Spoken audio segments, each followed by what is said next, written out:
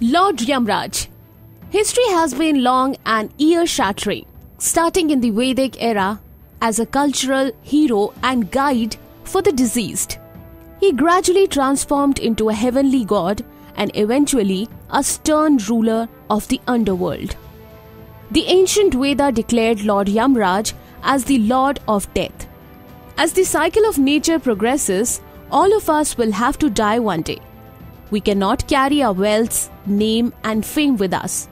But our karma will follow us, even after death. Our good deeds will be rewarded and our bad deeds punished. God appointed Lord Yamraj to take care of the soul who have earned bad karma in their lives. Scriptures portray him with green or blue skin, dressed in red clothes, and burning red eyes. His vehicle is a buffalo and holding a rope in his left hand. According to the scriptures, Yamraj was the son of Vishwakarma's daughter, Sanjana, and the son of Lord Surya. Once Sanjana was pregnant and Lord Surya came to see her. He looked at her with love. But in response, Sanjana closed her eyes. Lord Surya's brightness was so great that her eyes could not bear it. But Lord Surya mistook it to be her reluctance and irritation towards him. The furious Lord Surya cursed his wife. You will give birth to a son who will be destroyer of creatures. This curse gave birth to Lord Yamraj. But Sanjana can't take it anymore. The glow and heat emitted by Lord Surya's golden aura darkened her skin and drained her energy.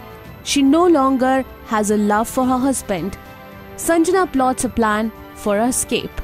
She creates a clone named Chaya. She installs Chaya in her place and Sanjana returns to her father's house. Chaya lived happily with Surya and had many children with him, but was partial to Sanjana's children. Lord Yamraj, once enraged by her partiality, seeing this partiality, Lord Surya realized everything. He came to know the whole truth and immediately went down to earth in search of Sanjana. Lord Yamraj was virtuous and impartial, both to his friends and to his enemies.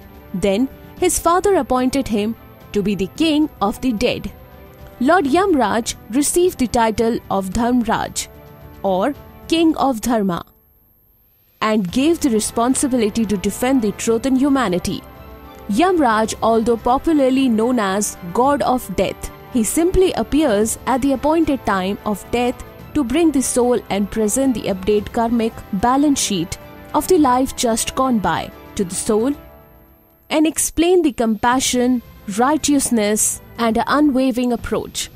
The good and bad actions of the soul and its possible implications in this future life. This is how Lord Yamraj ended up being the king of death. Thank you so much guys for watching this video.